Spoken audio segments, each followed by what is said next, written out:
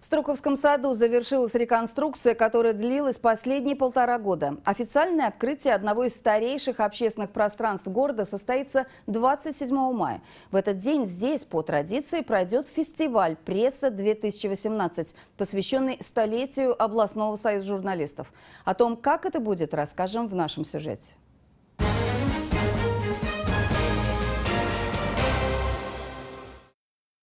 Открытие Струковского сада состоится в это воскресенье. Здесь пройдет фестиваль журналистики «Пресса-2018», в котором примут участие большинство самарских телеканалов и изданий.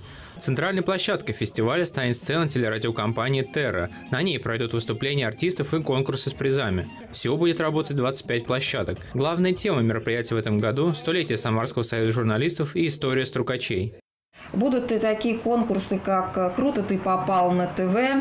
А, можно будет посмотреть, э, какой же будет журналистика через сто лет. Также те гости, которые придут на наш фестиваль, могут попробовать э, космическую еду. Будет конкурс на лучший репортаж из будущего. Будет также уже по традиции полевая кухня, мороженое. Будут на фестивале и концерты. В летнем театре сначала зазвучит джазовая музыка в исполнении самарских коллективов, а затем их сменят молодежные рок-группы.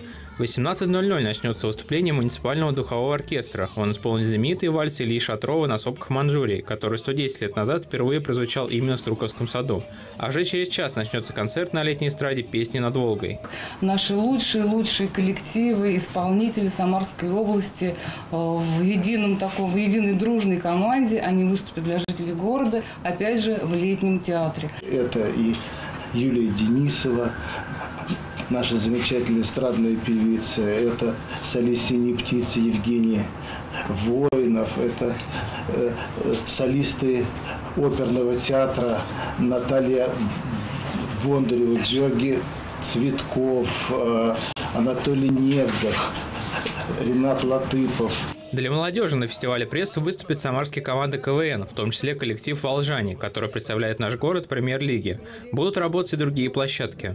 Решили сделать ну, такое юмористическое караоке, чтобы каждый желающий мог с профессиональными вокалистами, с нашими юмористическими монстрами исполнить какие-то песни о Самаре, песни э, рожденные в Самаре, ну и просто юмористические зарисовки на большом экране, все вместе, все, всем самарским молодежным братством.